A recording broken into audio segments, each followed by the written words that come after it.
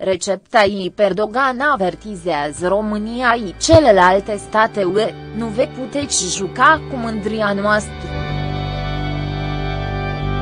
Presubliniere dintele turc, Recep Tayyip Erdogan, a afirmat luni ce Ankara îi va cere Uniunii Europene întregul ajutor de 6 miliarde de euro promis de către blocul comunitar pentru refugiații sirieni aflați pe teritoriul Turciei, în cadrul unei reuniuni ce va avea loc săptămâna viitoare, relatează agenția DFA.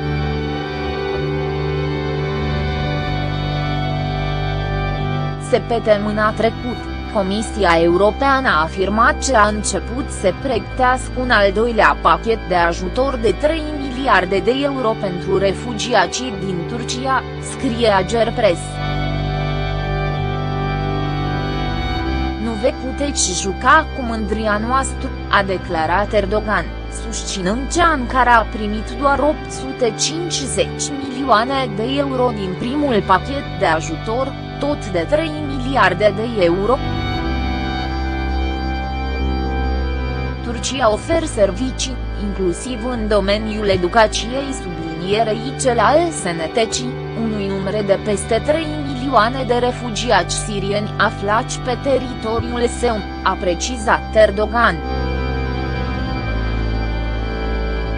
Turcia sublinierei Uniunea Europeană au încheiat un acord în 2016 în baza ceruia Ankara a ajuns la stabilirea a fluxului de refugiați sublinierei imigranți către Europa, majoritatea proveniți din Siria, în schimbul unui ajutor financiar pentru gestionarea de către Ankara a problemei nou sosicilor.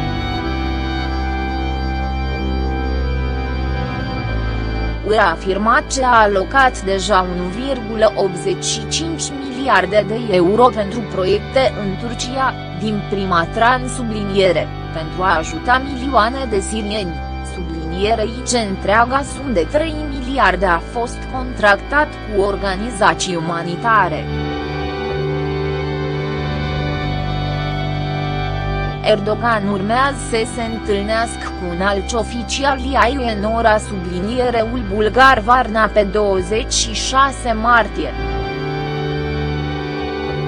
Relațiile dintre UE sublinierei Ankara au fost tensionate ani de zile, înrucindu-se ca urmare a represaliilor după tentativa e subliniere OAT de puci din Turcia din 2016, De asemenea, obiectivul Ankarei de aderare la UE a fost în mare măsură abandonat.